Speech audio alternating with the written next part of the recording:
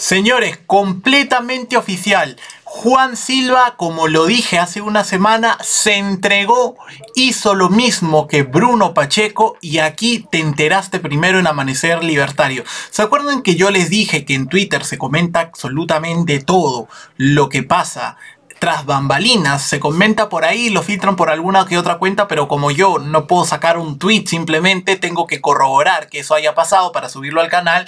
Bueno, yo ya lo sabía y por eso hice ese video porque me parecía que iba a pasar lo mismo y efectivamente no me equivoqué. Juan Silva ha hecho la de Bruno Pacheco y acaba de hundir a Pedro Castillo porque va a hablar exactamente todo lo que habló Bruno Pacheco para confirmarlo y entregar nuevas pruebas, nuevos videos, nuevos audios. Como digo, revienta el botón de like, comparte este video con más amigos, exactamente que ha hecho Philip Butter.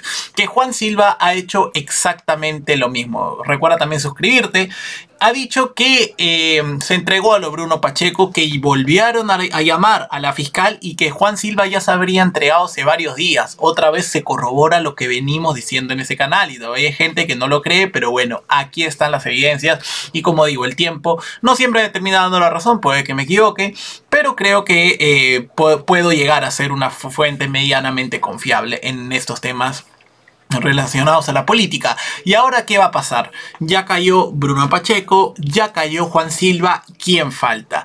Falta eh, aparte de Samiro Villaverde y Karelín López, falta Fray Vázquez Castillo, el sobrino de Pedro Castillo. Con todo esto se va armando el rompecabezas, porque lo último que ha soltado Bruno Pacheco es de escándalo, es de terror, señores. Por eso digo que todo se va a ir dando, que todo se iba a ir probando, y efectivamente así ha sido. Probablemente Pedro Castillo sea el jefe de una organización criminal, y me da mucha no sé si es un poco tragicómico, ¿no? Que eh, mucha gente haya votado por él en, segunda vuelta eh, en, lugar de Keiko porque decían que Keiko era una organización criminal. Bueno, Pedro Castillo también resultó ser así, o incluso peor, ¿ah? O sea, porque imagínense que Keiko se hubiera reunido con... ay, ojo, lo tengo que decir porque acá todo se malinterpreta.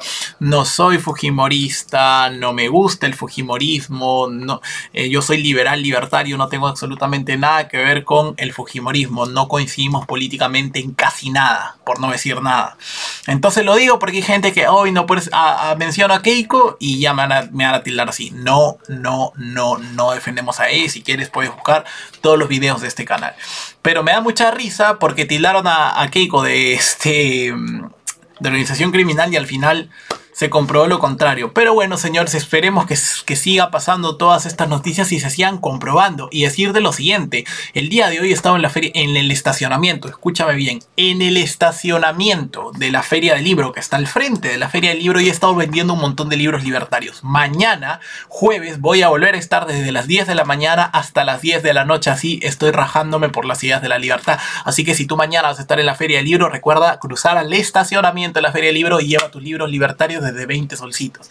Y ahora sí, muchísimas gracias por ver este video, dale like, suscríbete si te gustó y nos estamos viendo en el próximo programa. Te veo mañana en el estacionamiento de la Feria del Libro. Un saludo y hasta pronto.